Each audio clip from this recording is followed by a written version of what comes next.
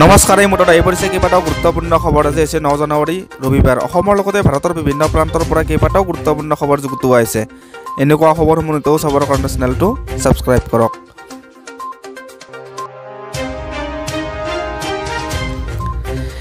দেশৰ নিৰ্বাচন আয়োগে উত্তৰ প্ৰদেশ গোৱা পাঞ্জাৱ মণিপুৰ আৰু উত্তৰাখণ্ডৰ বিধানসভা নিৰ্বাচনৰ দিন ঘোষণা কৰিছে। মুখ্য নিৰ্বাচন আয়ুক্ত সুনীল চন্দ্ৰই যোৱাকালি নতুন দিল্লীত ঘোষণা কৰা অনুসৰি উত্তৰ প্ৰদেশ বিধানসভা নিৰ্বাচনত দহ দহ ফেব্ৰুৱাৰীৰ পৰা সাত মাৰ্চলৈ সাতটা পৰ্যায়ত অনুষ্ঠিত হ'ব। আনহাতে পাঞ্জাৱ উত্তৰাখণ্ড আৰু গোৱাৰ বিধানসভা নিৰ্বাচন চৈধ্য ফেব্ৰুৱাৰীত এটা পৰ্যায়তে অনুষ্ঠিত হ'ব। মণিপুৰ বিধানসভা নিৰ্বাচন সাতাইছ ফেব্ৰুৱাৰী আৰু তিনি মাৰ্চত দুটা পৰ্যায়ত অনুষ্ঠিত হ'ব বুলি মুখ্য নিৰ্বাচন আয়ুক্ত চন্দ্ৰই প্ৰকাশ কৰিছে। তেওঁ জানিবলৈ দিয়া অনুসৰি আটাইকেইখন ৰাজ্যৰ ভোটগণনা দহ মাৰ্চত অনুষ্ঠিত হ'ব। সম্পূৰ্ণ ক'ভিড বিধি মানি নিৰ্বাচন সম্পন্ন কৰিবলৈ নিৰ্বাচন আয়োগে নিৰ্দেশ দিছে। প্ৰতিটো ভোটগ্ৰহণ কেন্দ্ৰত ছেনিটাইজাৰ আৰু মাস্ক বাধ্যতামূলক কৰাৰো নিৰ্দেশ দিয়া হৈছে। দেশত বৰ্তমানলৈকে ক'ভিড প্ৰতিষেধকৰ এশ পঞ্চাছ কোটি একষষ্ঠি লাখৰো অধিক পালি প্ৰদান কৰা হৈছে। স্বাস্থ্য মন্ত্ৰালয়ে প্ৰকাশ কৰা অনুসৰি বিগত চৌব্বিছ ঘণ্টাত নব্বৈ লাখ ঊনষাঠি হাজাৰৰো অধিক প্ৰতিষেধক প্ৰদান কৰা হয়। বিগত চৌব্বিছ ঘণ্টাত দেশত ক'ভিড নাইণ্টিনত এক লাখ একচল্লিছ হাজাৰ নশ ছিয়াশীজন নতুনকৈ আক্ৰান্ত হৈছে। এতিয়ালৈকে সক্ৰিয় ৰোগীৰ সংখ্যা চাৰি লাখ বাসত্তৰ হাজাৰ এশ ঊনসত্তৰ আৰু এই হাৰ এক দশমিক তিনি চাৰি শতাংশ।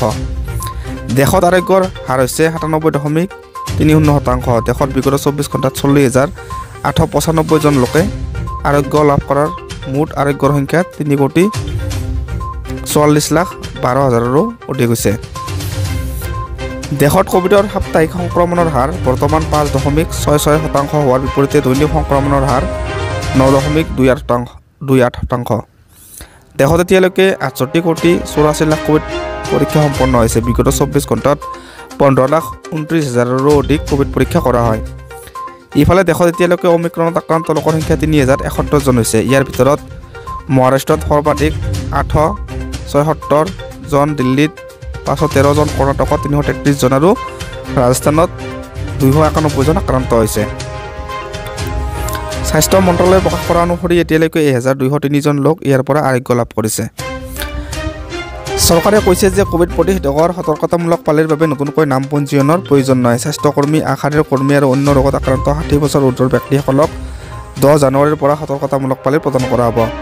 চৰকাৰে কৈছে যে যিসকল ব্যক্তিয়ে ইতিমধ্যে ক'ভিড নাইণ্টিন প্ৰতিষেধকৰ দুয়ো পালি গ্ৰহণ কৰিছে তেওঁলোকে সতৰ্কতামূলক পালিৰ বাবে পোনপটীয়া সময় ল'ব পাৰে অথবা যিকোনো ক'ভিড প্ৰতিষেধক প্ৰদান কেন্দ্ৰলৈ যাব পাৰে। এই সন্দৰ্ভত আজি কাৰ্যসূচী জাৰি কৰা হ'ব। অনলাইন এপইণ্টমেণ্টৰ সুবিধাও সন্ধিয়াৰ পৰা আৰম্ভ হ'ব। সতৰ্কতামূলক পালিৰ বাবে যোগ্য ব্যক্তিসকলে দহ জন দহ জানুৱাৰীৰ পৰা ক'ভিড চিটা প্ৰদান কেন্দ্ৰলৈ গৈ প্ৰতিষেধক গ্ৰহণ কৰিব পাৰিব। নিমাতী ঘাটৰ ফেৰী দুৰ্ঘটনাত প্ৰাণ হেৰুওৱা দুগৰাকী লোকৰ নিকট আত্মীয়লৈ যোৱাকালি মুখ্যমন্ত্ৰী ডক্টৰ হিমন্ত বিশ্ব শৰ্মাই আনুষ্ঠানিকভাৱে নিযুক্তি পত্ৰ প্ৰদান কৰে। জনতা ভৱনত এই উপলক্ষে আয়োজিত অনুষ্ঠানত ফেৰী দুৰ্ঘটনাত নিহত পৰিমিতা দাসৰ ভগ্নী মধুমিতা দাসক ৰাজ্যিক শিক্ষা গৱেষণা আৰু প্ৰশিক্ষণ পৰিষদত সহকাৰী অধ্যাপকৰ নিযুক্তি পত্ৰ প্ৰদান কৰা হয়। আনহাতে ফেৰী দুৰ্ঘটনাত নিহত লখিমপুৰৰ ইন্দ্ৰেশ্বৰ বৰাৰ পত্নী ৰূপৰেখা বৰা সেনাপতিক তেওঁৰ গৃহ জিলাৰ এখন বিদ্যালয়ত চতুৰ্থ বৰ্গৰ চাকৰিত নিযুক্তি দিয়া হয়। অৱশ্যে দুৰ্ঘটনাত প্ৰাণ হেৰুওৱা ডক্টৰ বিক্ৰমজিৎ বৰুৱাৰ পৰিয়ালে মৃতকৰ অৱসৰ বয়সলৈকে সম্পূৰ্ণ দৰমহা লাভ কৰি থাকিব। নিযুক্তি পত্ৰ লাভ কৰা ব্যক্তি দুয়োগৰাকীয়ে যাতে কোনো বিভাগৰ ওচৰলৈ নোযোৱাকৈ তেওঁলোকৰ প্ৰথম দৰমহা সময়মতে লাভ কৰে সেয়া সুনিশ্চিত কৰিবলৈ মুখ্যমন্ত্ৰী ডক্টৰ হিমন্ত বিশ্ব শৰ্মাই অনুষ্ঠানতে শিক্ষা বিভাগক নিৰ্দেশ দিয়ে। এই অনুষ্ঠানত মুখ্যমন্ত্ৰীৰ ৰাজনৈতিক সচিব জয়ন্ত মল্ল বৰুৱা শিক্ষা বিভাগৰ উপদেষ্টা ডক্টৰ নন্দীগোপাল মহন্ত আৰু আন বিশিষ্ট ব্যক্তিসকল উপস্থিত আছিল। দুহেজাৰ চৌব্বিছ চনত কেন্দ্ৰত মোদী চৰকাৰ আহিলে ভাৰত হিন্দু ৰাষ্ট্ৰ হ'ব। বিজেপিক প্ৰতিহত কৰাৰ আহ্বান কৰি অখিল গগৈৰ মন্তব্য।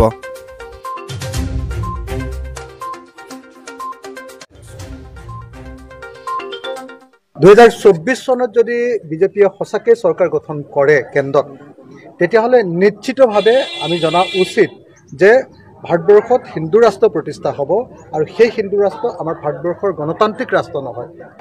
এতিয়া এই মুহূৰ্তত ৰাইজৰ দল বা যিকোনো আঞ্চলিক শক্তিৰ কাৰণে আটাইতকৈ ডাঙৰ প্ৰত্যাহ্বান দুটা। প্ৰথম প্ৰত্যাহ্বানটো হ'ল যে গোটেই ভাৰতবৰ্ষৰ সংবিধানক সম্পূৰ্ণৰূপে অস্বীকাৰ কৰি ভাৰতবৰ্ষৰ সাংবিধানিক মূল্যবোধ আৰু গণতান্ত্ৰিক প্ৰমূল্যক সম্পূৰ্ণৰূপে ধ্বংস কৰি আমাৰ ভাৰতবৰ্ষখনক একক এককেন্দ্ৰিক বা স্বৈৰতান্ত্ৰিক ৰাষ্ট্ৰৰূপে গঢ়ি তুলিব খোজা হৈছে।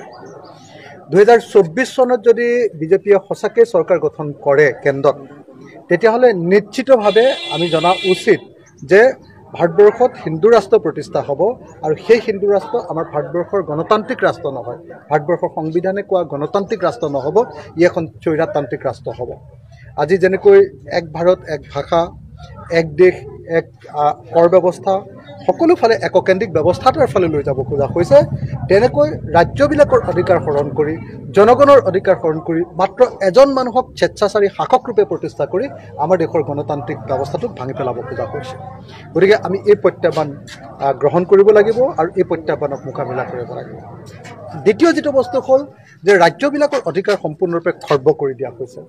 ৰাজ্যবিলাকৰ অধিকাৰ খৰ্ব কৰি ৰাজ্যবিলাকৰ যি ফেডাৰেল ব্যৱস্থা যুক্তৰাষ্ট্ৰীয় আমাৰ দেশৰ ব্যৱস্থা সেই ব্যৱস্থাক খৰ্ব কৰি ৰাজ্যবিলাকৰ অধিকাৰ ক্ষমতা নাইকিয়া কৰি বিত্তীয় ক্ষমতা বিশেষভাৱে নাইকিয়া কৰি আমাৰ ৰাজ্যবিলাকক ধ্বংস কৰি দিব খোজা হৈছে।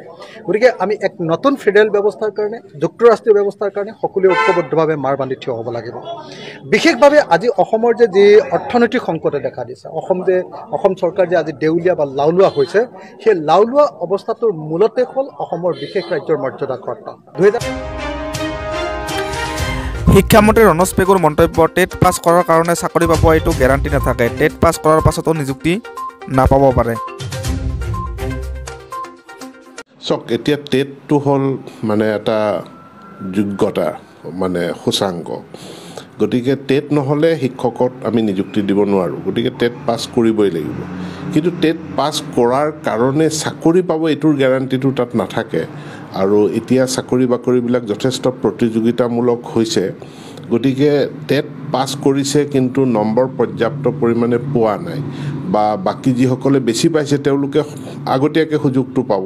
যিসকলে কম নম্বৰ পাইছে তেওঁলোকে সুযোগটো নাপাব। গতিকে টেট পাছ কৰাৰ পাছতো নিযুক্তি নাপাব নাপাব পাৰে।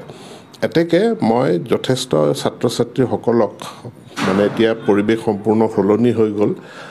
তেওঁলোকক কেনেকৈ টেট পৰীক্ষাত দিব লাগে কেনেকৈ পাছ কৰিব লাগে সেইটোত মনোনিৱেশ কৰিবৰ কাৰণে মই আহ্বান জনাওঁ।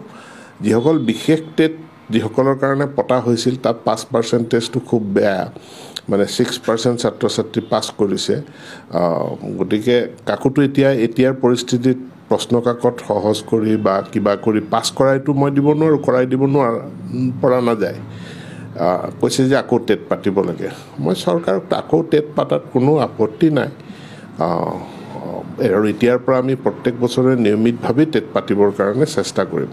লগতে মই প্ৰাৰ্থীসকলক এইটোও জনাওঁ যে অসম চৰকাৰৰ আন বহুত চাকৰিৰ দুৱাৰ মুকলি হৈছে। সেইখিনিৰো বিজ্ঞাপন ওলাব। এতিয়া গ্ৰেড থ্ৰী গ্ৰেড ফ'ৰ ফ'ৰৰ কাৰণে এখন সুকীয়া বৰ্ড হৈছে। সেই বৰ্ডে উমৈহতীয়াভাৱে তেওঁলোকে বিভিন্ন বিভাগৰ কাৰণে তেওঁলোকে এডভাৰটাইজ কৰিব তাতো আবেদন কৰিব পাৰে। তাৰোপৰি যাতে সৰ্বভাৰতীয় বিভিন্ন প্ৰতিযোগিতামূলক ভাল ভাল চাকৰি আছে বেংকৰ চাকৰি আছে ষ্টাফ চিলেকশ্যনৰ চাকৰি আছে সেইবিলাকতো আমি অলপ গাইডেঞ্চ কোচিং চৰকাৰৰ ফালৰ পৰাই আমি দিয়াবৰ কাৰণে আমি ব্যৱস্থা কৰিম। বা আৰ্মড ফ'ৰ্চেছত ফ'ৰ্চত পুলিচত তাতো বহুতখিনি চাকৰি ওলাব। গতিকে অকল শিক্ষা বিভাগটোত মানে টেট সৰ্বোচ্চ শিক্ষা বিভাগটোত মানে মই বহু ভিৰ কৰিবলৈ মই অনুৰোধ নকৰিম। ইয়াত ভিৰ কৰিব নালাগে।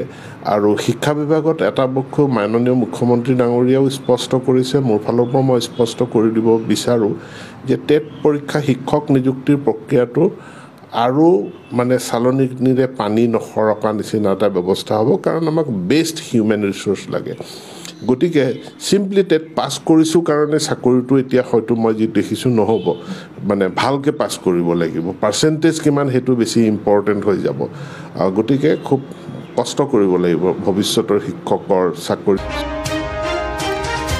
মাঘ বিহুৰ ওপৰত হিমন্ত চৰকাৰে দিয়া নিষেধাজ্ঞাৰ বিৰোধিতা অখিল গগৈৰ। মাঘ বিহুৰ ওপৰত নিষেধাজ্ঞা মানি লোৱা নহ'ব। একত্ৰিছ ডিচেম্বৰৰ দিনা যদি শিথিলতা শিথিলতা দিব পাৰে মাঘ বিহুতো শিথিলতা দিব লাগে হিমন্ত চৰকাৰে। অসম চৰকাৰে বিশেষকৈ কালি অসমৰ মুখ্যমন্ত্ৰীয়ে অসমৰ মাঘ বিহুৰ ওপৰত যি বাধা নিষেধ আৰোপ কৰিছে সেই বাধা নিষেধ কেতিয়াও কোনোপধ্যে মানি লোৱাটো সম্ভৱপৰ নহয় আজি একত্ৰিছ ডিচেম্বৰ বা এক জানুৱাৰীত যদিও লকডাউন আছিলে আমি দেখিছিলোঁ যে সেই সান্ধ্য আইন শিথিল কৰা হৈছিলে। সান্ধ্য আইন শিথিল কৰি একত্ৰিছ ডিচেম্বৰ বা এক জানুৱাৰী পালন কৰিবৰ কাৰণে সুবিধা কৰি দিয়া হৈছিল কিন্তু আজি দেখিছোঁ যে বিহুৰ ওপৰত আকৌ নতুনকৈ নিষেধাজ্ঞা জাৰি কৰা হৈছে। এইটো দুৰ্ভাগ্যৰ কথা যে একত্ৰিছ ডিচেম্বৰো হ'ব পাৰে এক জানুৱাৰীও হ'ব পাৰে পূজাও হ'ব পাৰে এইবিলাক সকলো অনুষ্ঠান হ'ব পাৰে কিন্তু আমাৰ জাতীয় উৎসৱ বিহু সদায় আমাৰ সংস্কৃতি জাতীয় সংস্কৃতিটোৰ ওপৰত সদায় আক্ৰমণ চলাই থকা হৈছে।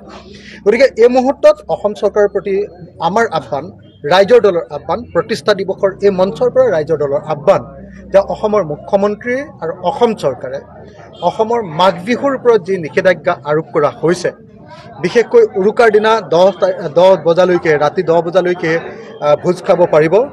বা দহ বজাৰ ভিতৰত সকলো কাৰ্যকলাপ সামৰণি মাৰিব লাগিব বুলি যি নিষেধাজ্ঞা জাৰি কৰা হৈছে আৰু পুৱা ছয় বজালৈকে যি নিষেধাজ্ঞা আৰোপ কৰা হৈছে এইটো কেতিয়াও মানি লোৱা উচিত নহয়।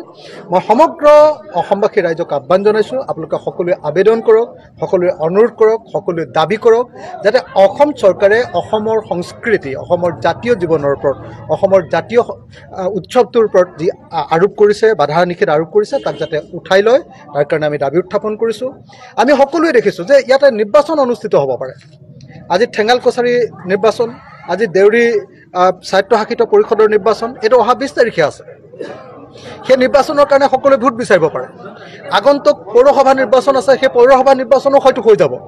কিন্তু পৌৰ পৌৰসভাবিলাকৰ বা পৌৰ নগৰ সমিতিবিলাকৰ যি নিৰ্বাচন সেইবিলাকো হয়তো হৈ যাব। কিন্তু দুৰ্ভাগ্যৰ কথা যে আমাৰ যি জাতীয় সংস্কৃতি জাতীয় উৎসৱ বিহুটো পালন কৰাৰ ক্ষেত্ৰত বাৰম্বাৰ বাধা আৰোপ কৰি থকা হৈছে। মই সেইকাৰণে অসম চৰকাৰ আৰু বিশেষভাৱে অসমৰ মুখ্যমন্ত্ৰীৰ ওচৰত আহ্বান জনাইছোঁ যে অসমৰ বিহুৰ ওপৰত বিশেষকৈ মাঘ বিহুৰ উৰুকা আৰু মাঘ বিহুৰ প্ৰথম দিনাৰ ওপৰত যি ধৰণৰ বাধা নিষেধ আৰোপ কৰা হৈছে এইটো কৰ্তন কৰিব লাগে আৰু অসমৰ জনতাক মাঘ বিহুটো স্বাধীনভাৱে পালন কৰাৰ ক্ষেত্ৰত অধিকাৰ প্ৰদান কৰিব লাগে।